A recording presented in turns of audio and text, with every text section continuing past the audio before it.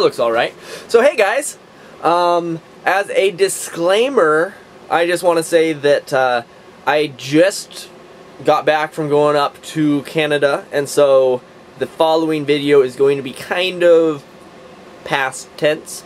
And uh, the one thing that I found that seemed like it was incorrect was I do not believe that texts are included for free. So the text, even if you uh, just text, it still charges you the $2 a day. But I also haven't looked at my bill yet. But this is what uh, what I found out when I went to the Verizon store. Hello everybody. So I am right now heading up to Canada to visit the great line screw 1.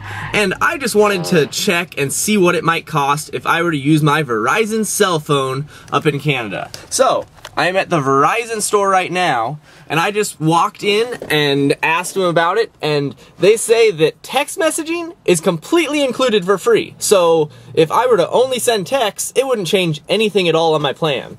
And if I were to want to use my data that's already on my plan, I have a 12 gigabyte uh, data plan. So if I wanted to use that data or make any phone calls on that plan, it would only be another $2 a day. So I'm only going up for a few days, so that is definitely what I'm going to do. And it only activates as soon as I, you know, make a phone call or start using data. So, you know, who knows? I might be able to get by with only doing texts and not even be charged at all. But $2 a day seems very reasonable for, you know, going up to Canada for a few days and using my existing data and existing uh, voice plan. So, you know, just a little quick tip. I was curious as to what it would charge me, and as of what, January 26th, 2016, that's what it said when I walked into the Verizon store. Well, I hope you all are having a great day.